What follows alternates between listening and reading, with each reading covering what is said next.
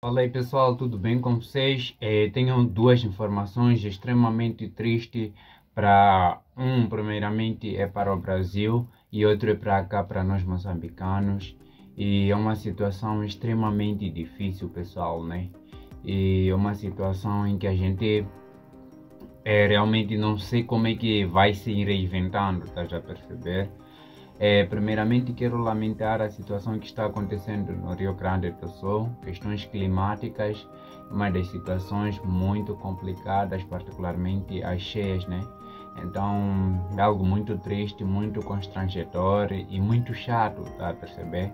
Porque, porque as pessoas realmente ficam num lugar acomodadas e vão ter que se mudar e além disso está acontecendo a inundação, algo que é muito difícil e muito chato. E de seguida também dizer que aqui em Moçambique os pacotes de internet pessoal estão absurdo e está tudo literalmente mudado pessoal. Então, se vocês verem youtubers não postando vídeos, é porque a situação está extremamente difícil. Então, para aquele que é super fã, gosta do meu canal, gosta dos meus vídeos, é, torne-se membro deste canal para pelo menos ajudar o canal né, nesse contexto a ter mais vídeos, assim sucessivamente. Não é obrigatório que você faça isso, mas se você gosta mesmo, é fã, para que aqui não possa faltar vídeo, ajudem com essa mão aí pessoal, que eu serei muito grato e vocês também terão vídeos sempre, né pessoal? E então é isso, vamos entender hoje porque que realmente os brasileiros estão emigrando é, para Angola. Ah, qual é essa razão? Qual é a razão que está a levar os brasileiros para Angola? Se você gosta desse tipo de vídeo, deixe aqui embaixo, deixe seu like, se inscreva aqui no canal e ative o sininho das notificações para não perder nenhum dos meus vídeos. Minhas redes sociais estarão aqui na descrição. Quem não me segue lá no Insta, começa a me seguir para que a gente possa trocar de ideias e opiniões. E aferir pessoal que o link do vídeo original estará aqui na descrição. É de um canal do amigo angolano. Vai lá, veja o vídeo e compartilhe. E é isto. Bora ver o vídeo, pessoal. Eu tô vivendo em Angola há três anos. Nossa, Já moro aqui há 5 anos. Eu tô morando em Angola e possivelmente você tá pensando, mas que diacho você tá fazendo aí?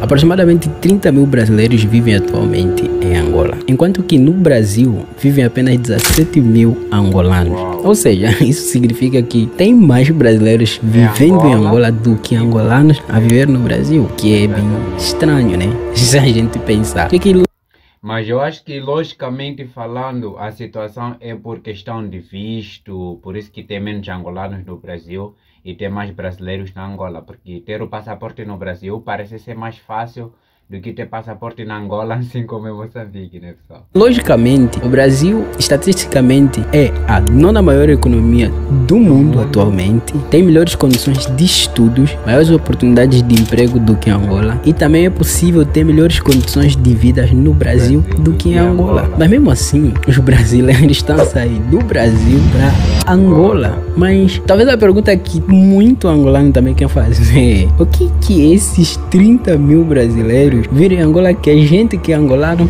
não viu? A verdade é que isso tem explicação. E esse gráfico aqui, Mas eu acho que é uma das, uma das coisas que eu posso dizer é a questão de oportunidades. Tipo, por exemplo, no Brasil já tem tudo, enquanto que na Angola ainda tem algumas coisas em falta. Apesar que é uma das economias de África e além de economias é uma das potências de África, né, pessoal? Angola é pobre, mas segundo a mídia, Angola é rica, tá a perceber? explica exatamente o porquê os brasileiros estão aí para Angola. Existem apenas 12 países no mundo que mais contribuem com a receita brasileira. Dentre esses países, só um é do hemisfério sul. E adivinha?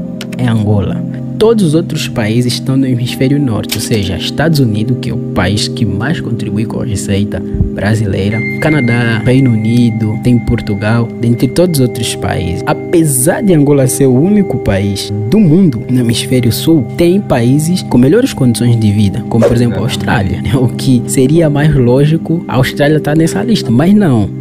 Para você ter noção, só em 2022 foram aproximadamente 100 milhões de dólares que saíram de Angola para o Brasil. Mas para entender melhor esse tipo de questão, tem uma frase eu aplico exatamente aqui no Brasil. Ou seja, eu vi aqui no Brasil, os brasileiros foram lá, né? Então, essa frase basicamente diz o seguinte: a pobreza não está na falta de dinheiro, a pobreza está na falta de oportunidade. Que explica minimamente o porquê das pessoas saírem dos seus determinados lugares de onde nasceram para ir em outros lugares. Para ser sincero, a gente que é estrangeiro basicamente vê muitas oportunidades no Brasil. Pelo menos eu vejo assim. Tem, ah, muita gente vai falar, ah, é porque você veio de um país pobre. Não necessariamente, né? Porque se você pegar na lista dos países que mais é, imigram para o Brasil, você não vai encontrar nenhum país africano, primeiro. E, e, segundo, você vai encontrar países que você não tem noção que estariam lá. Por exemplo, norte-americanos, pessoal dos Estados Unidos imigra muito para o Brasil para ganhar dinheiro. Então é porque se eles vêm aqui para ganhar dinheiro é porque tem oportunidade. Os portugueses, os italianos são as nacionalidades que estão na lista dos países que mais vêm aqui para ganhar dinheiro. Por quê? Porque eles conseguem ver oportunidade aqui. Então, a verdade é que vai depender da percepção de cada um. Por exemplo, há pessoas que vê na dificuldade um problema. Então tudo vai depender da forma como cada um vai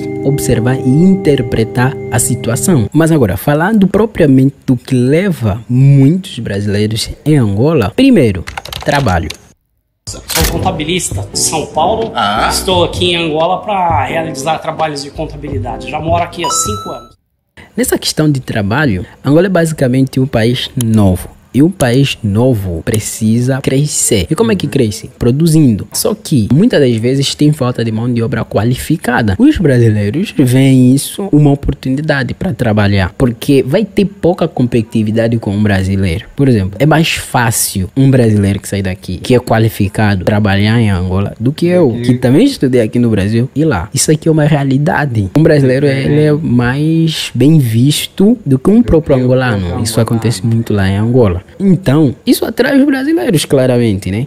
E além disso, né? Um brasileiro muitas das vezes ganha mais do que um angolano em Angola. Atualmente em Angola tem muitas áreas né, que muitos brasileiros vão. E quais são essas áreas? Por exemplo, construção civil, exploração de minérios. Tipo, tem muita gente assim, na, principalmente no pessoal da administração, das maiores empresas de extração de diamante em Angola, são brasileiros. Indústrias petrolíferas. Tem também no agronegócio. Os empresários estão a pagar yeah, pessoal, é realmente isso que acontece aqui na África. Por isso que eu disse, uma das coisas é os brasileiros acharem oportunidades aqui e nós acharmos oportunidades no Brasil. A vertente que ele afere é muito importante e é crucial também para o vídeo e além do vídeo para vocês também poderem perceber. Por exemplo, aqui em Moçambique temos muitos é, cirurgiões chineses, cubanos, né? Muitos e ganham mais bem em relação aos nossos irmãos moçambicanos. Tipo, mesmo que sejam qualificados, eles ganham menos e aqueles que vêm do estrangeiro trabalhar aqui ganham mais. Então é algo extremamente é, é, triste e constrangedor um pouco para nós moçambicanos, porque, olha, um estrangeiro ganha mais no nosso país do que nós próprios, né, pessoal? Então é basicamente isto. Aqui em Moçambique também acontece muito essa vertente. Tem muitos brasileiros na exploração de carvão mineral em Tete, na Vale. É, tem muitos brasileiros é, que são donos de lojas, donos de muitas coisas, estás a perceber? Além de loja, no agronegócio duvido muito. Por quê? Porque a agricultura de Moçambique é extremamente fraca. Tem muito mais americanos investindo do que brasileiros. Eu acho que se tivesse muito brasileiro, eu acho que a, a, a economia seria também vasta na parte agrícola para Moçambique, né, pessoal? Então é algo que acontece é, a nível da África em geral. Eu pensei que só fosse cá em Moçambique, né, pessoal? É por estas razões. Então é muito legal ter esse conhecimento, pessoal o que quiser que um brasileiro peça. Agora, né, descobriram que os brasileiros eles são muito qualificados em agricultura.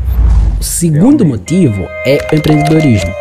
Eu vi um comentário de um brasileiro num vídeo do angolano, que o título do vídeo era Quatro motivos para morar em Angola. E me chamou a atenção esse comentário aqui, que ele disse o seguinte, assim, eu sou brasileiro e ainda quero levar minha empresa para lá. É um país novo, com poucos concorrentes, leis mais brandas e com muitas pessoas para trabalhar e poder dar emprego. Sem contar que nós falamos a mesma língua e Angola é um dos maiores países de África. Esse brasileiro aqui, ele explicou exatamente o porquê que os brasileiros querem tanto ir para Angola, no caso no ramo de empreendedorismo. Por exemplo, lá existem muitas clínicas de brasileiros e, são, e eles ganham muito bem. Existe uma classe média alta em Angola que paga o que você quiser. Então os brasileiros estão a empreender muito em Angola, tem muitas empresas lá. Então esse é um dos motivos também. O ambiente de negócio em Angola atualmente é muito apropriado e favorece qualquer pessoa, principalmente que seja qualificado e tenha capacidade de gerir uma empresa e conseguir muito dinheiro em Angola. Quer dizer, eu só estou a entender essas coisas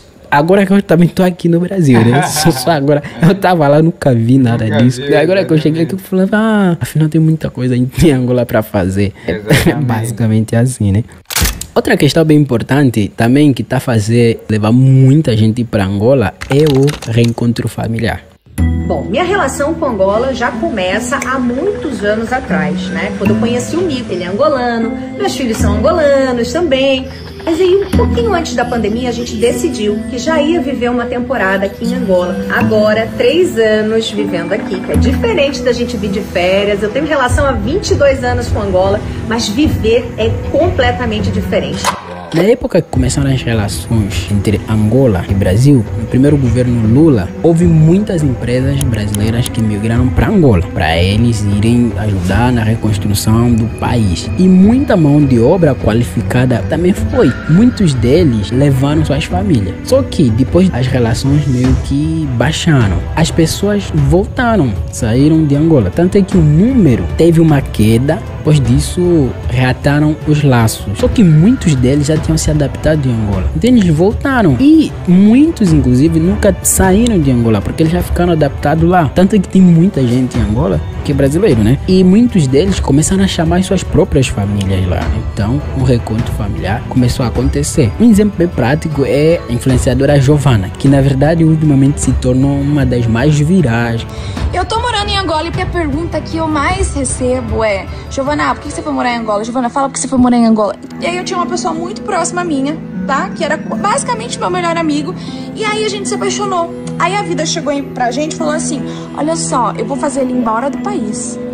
E aí eu vou te deixar pensando: tu vai ou tu fica? Tu vai ou tu fica? Esse movimento de ir para Angola aumentou nos últimos anos. Os brasileiros estão a ver oportunidades em Angola, então estão aí para lá. Essa questão de ah, lá é muito pobre, não sei o quê para pessoas que não veem a oportunidade, é sério. Mas para pessoas que realmente viram a oportunidade em Angola, eles estão a ganhar muito dinheiro e vivem muito bem em Angola. Angola é, além do que você simplesmente vê na, na televisão, um dos locais para você empreender. Se você é um brasileiro quiser ir lá, vai. Até porque a gente trata muito bem os estrangeiros. Principalmente brasileiro, mano. Brasileiro lá é tratado muito, muito bem, Muito bem. É, dá até é para exagerar dizendo que é tratado como rei. Então, pessoal, é, é basicamente basicamente isso. Obrigado por você assistir esse vídeo, valeu mesmo. Se inscreva no canal, deixe nos comentários o que, que você achou. E tamo juntos, até a próxima, valeu!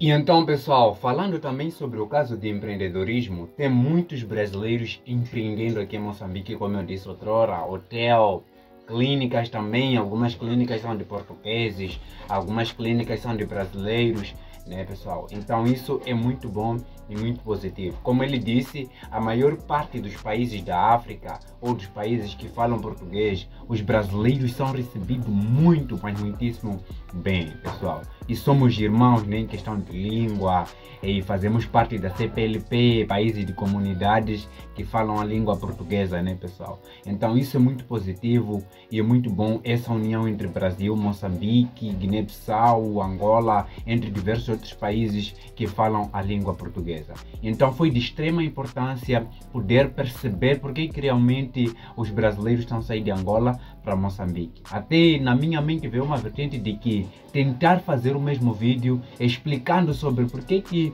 é, brasileiros saem do Brasil para emigrar em Moçambique. Se você quer ver este vídeo, comente aqui embaixo que eu gostaria bastante de ver o seu comentário. Então, muito obrigado por me acompanhar até aqui. Se você gosta desse tipo de vídeo, deixe aqui embaixo, deixe seu like, se inscreva aqui no canal e ative o sininho das notificações para não perder nenhum últimos vídeos. Minhas redes sociais estarão aqui na descrição. Quem não me segue lá no Insta, começa a me seguir para que nós possamos trocar de ideias e opiniões. E link do vídeo original aqui na descrição. Até numa próxima oportunidade. Peace, galera.